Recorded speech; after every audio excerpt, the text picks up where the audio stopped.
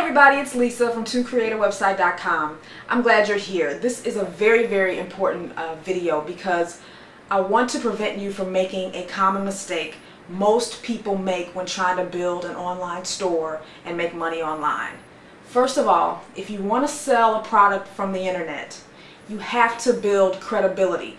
Think about it. If you go to google.com, let's say you, you want to sell uh, car stereo equipment, and you go to Google and you type in stereo equipment, you'll see the first 10 results are all companies that are pretty pretty well established. These are e-tailers that probably get a lot of traffic. Some of them may be brands that you recognize like BestBuy.com or CircuitCity.com. So you are going to have to compete with these popular e-tailers in order to make money. So you say, hmm, how do I, someone who's not known, I have no brand awareness out there, how do I get my product to compete and rank high with those popular e-tailers? This is what you've got to do.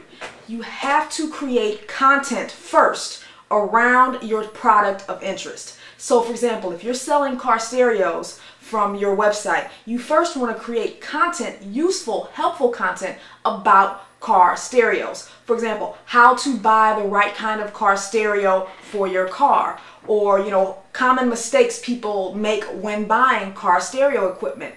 The reason you want to do this is because it's much easier to get content ranked high in Google than it is uh, just a regular store. So what happens is as people begin finding your content, they'll say, hmm, this is really good information about car stereo equipment. Maybe I'll bookmark this or tell my friends about it. So over time, your site starts building traffic because of your good content and Google will start to say, hmm, this site is starting to get some visitors and people are staying on this site quite a bit. So maybe we'll start ranking them a little higher for these keywords. But the problem is if you don't have the content and you just launch a site with just store products, you have no way to build your credibility and you have no way to beat some of the popular sites that are in the top 10 results. So it has to start with the content. Don't waste your time paying Yahoo. I think it's like a hundred bucks a month for a Yahoo store. Yeah, it may look pretty. It may, you know, have your site looking all professional, but it doesn't matter if you don't have any visitors. You've got to build the content around your,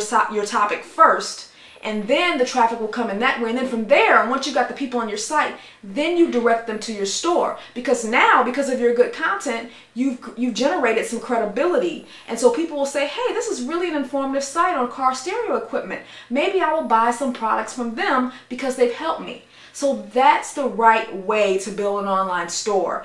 And Site Build It, I, I promote them all over my site because they are truly awesome and I, I use them. Um, you can go to iwantsbi.com learn more about them. But they teach you how to build a site the right way first. And then if you want to sell products, they even have an add-on to your site. It's called Store Build It. So you can, you know, sell products from your site. But they teach you how to get traffic. So many people make a, a huge mistake. They pay all this money for this store uh, and, you know, a month later they're sitting like, I'm not getting any traffic to my site. That's because you've done it backwards. You have to do it the right way. Content first, store later.